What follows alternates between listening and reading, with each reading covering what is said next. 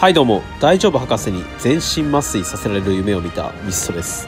はい本日はですね14時にお知らせがたくさん来ましたのでそちらを皆さんと一緒に見ていきたいと思います、えー本当にめっちゃ来たよね。でまずはこのいっちゃん気になる矢部くんの闇鍋これ早速やってみたいなというふうに思っております。これどっから行くんだ？これか。はい。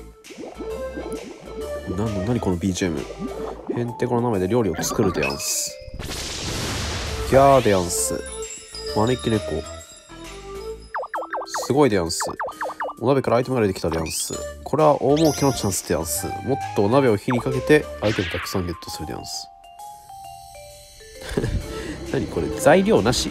火かけるだけでアイテムできんの？恐ろしいね。さあ。おう。はいはいはい。えいきなりもらえるんだ？はい。それは聞かない方がいいでやんすよ。はい。えー、火にかけると。これって報酬決まってんのかな？はいはいはい。あ初回は30秒できんのね。ちょこれ 待つか。で解放条件がそれぞれあると。いう中でえこれどうすればいいの？これどうやって見んの？まあいいやちょっととりあえずもうすぐできるんでね。え30秒ってこんな早かったっけ？30秒だけこれちょっと若干早くない？気のせい。はい完成。PR ガチャ券。はい。これは？はいはいはい。なるほどね。以降特定の条件を達すると所的の波が増える。うん今各お鍋が冬お鍋で見えたわ。冬といえば鍋だからだ。え？これ？あーこれ出てくるのね。あーなるほど。サクセスサクセスサクセス。ガチャを一回引く？これこれノーマルガチャでいいんだよね。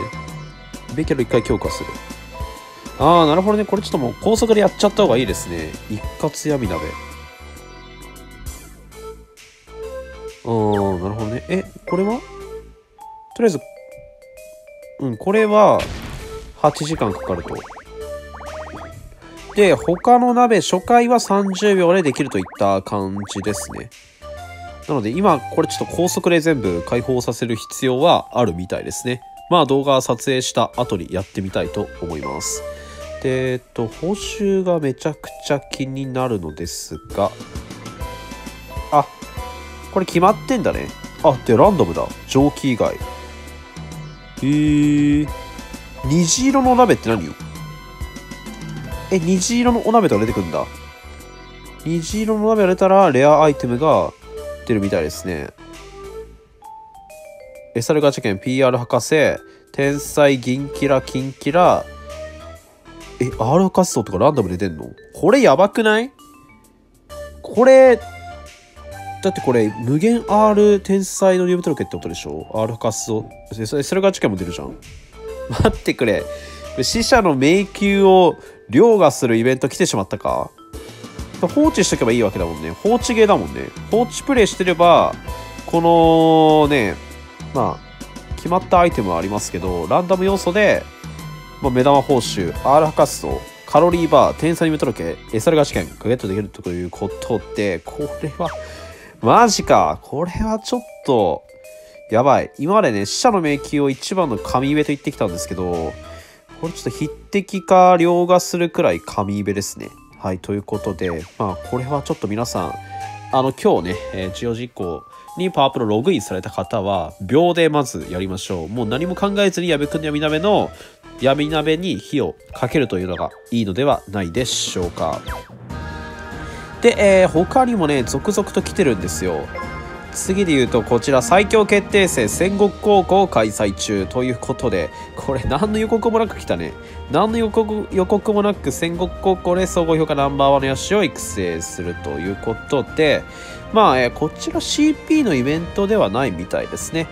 で、えー総合評価をデイリーランキングで競おうということでまあアスレティス高校の時にもありましたね、まあ、同じような感じでとりあえずはランク選手ランクが基準になりますので、ま、経験点とかじゃなくて選手ランクなのでそこはご注意ください。ガチガチのガチデッキで育成していくっていう感じですね。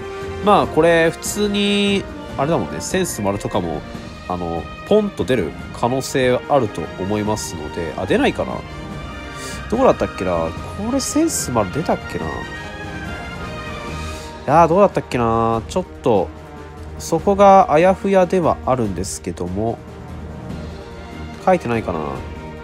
毎度毎度さあの遊び方の詳細を見るのが大変なんだよな。うん。確か出たと思うしどうだったっけなとも思っている。戦後界歴代最強の称号。欲しいな。欲しいけど。まあえっととりあえずはですねこの交換ポイントねゲットできますので戦国高校 PR 選択ガチャ券 SR ガチャ券、うん、PR 博士 R 博士キンキラとねめちゃくちゃいい報酬天才カロバーもあるしね、えー、招き猫もあるということでまあとりあえずは、まあ、サクセス戦国高校ね時間かかってしまうんですけども、まあ、サクセスやってれば損することは絶対ないので、まあ、このランキング最強決定戦やりつつ、まあ、戦国高校のギミックをね理解していくっていうのが今一番いいんじゃないかなというふうに思っております。まあちょっとね、えー、昨日のアップデートでいろいろちょっと、あの、天下統一の方法とかがね、変わってるので、まずそこに慣れる必要があります。なので、まあ今のうちにプレイしてね、まあ、年末キャラも控えてますし、まあ、デッキもね、徐々にテンプレデッキというものがね、出てくると思いますので、まあ、それを固めつつ、うん、まずは戦国高校を理解するっていうのがいいのかなというふうに思っております。で、えー、次、ガチャもたくさん来ました。たくさんっていうか2つなんですけども、えー、旧ダイヤのエースアクト2、投手、捕手ということで、もうこれ復刻何回目だ？もう5回くらいしてるよね。そんな中で、まあ、目玉キャラになってくるのは、野手だと奥村、投手だと古谷っていう感じかな。この投手の古谷に関しては、今、あのー、戦国投手で結構輝きを放っているキャラですね。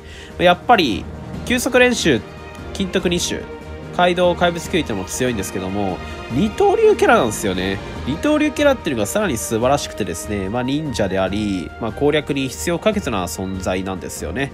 まあ今のところ、本当に二刀流のテンプレと言われるものが、まあ、前在と古谷っていうこの2人になってくるのかなというふうに思いますのでまあお持ちでない方は、えー、ぜひゲットしてほしいなとは思っております。この古谷君も35で全然活躍できますのでまあそうですね。確実にゲットするにはまあえー、と選択価値が6回目かまで回す必要あるんですけどもまあ今までね散々このガチャに関しては本当にもう回せ回せ言ってきたので、まあお持ちの方は多いと思いますのでね、まあそういう方は、しっかりと戦国通して運用してあげてください。で、このガチャね、もうパワープルアプリ初めては、初めて見たよっていう方は、そうですね、まあ年末も控えてるんで、ま、無理して引かなくていいのかなというふうに思っております。はい。ここで、まあ、石6回目だから、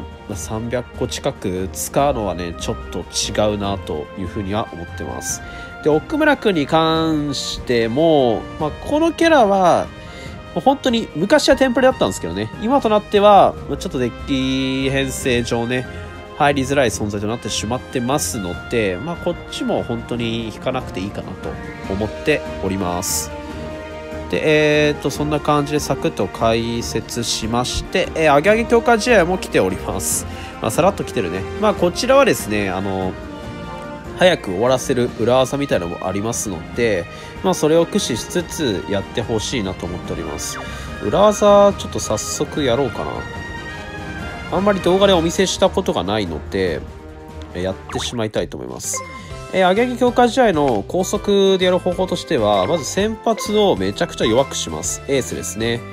もうこいつでいや、80キロ改ざんにします。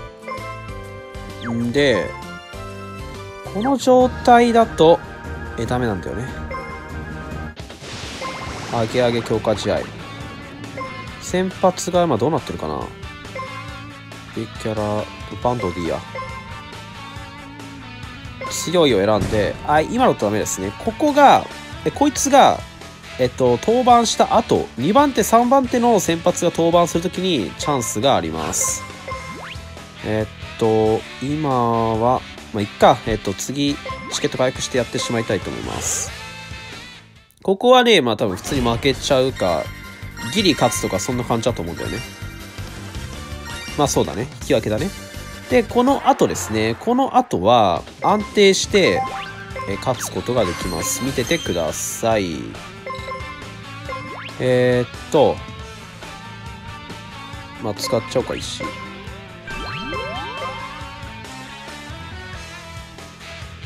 はい。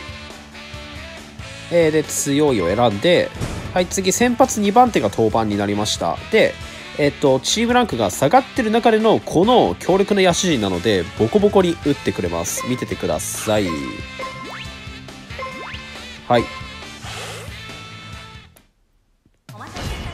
こんな感じですね。はい、はい、はい、はい、はい。はいはいはいはいということで、まあ、ほとんどの確率でこうやってコールド勝ちすることができますので、まあ、あの試合操作しなくてもねえマックスポイントゲットできますのでね、まあ、この方法はね、えー、ぜひ覚えておいてください。3試合に2回できるっていう認識で問題ないですね。うん。こんな感じで、えー、少しでも時間短縮していきましょう。はい。まあ以上ですね。矢部君の闇鍋についてはおっと？えこんなのあんの？え何何何時短成功って何？そんなのあったの？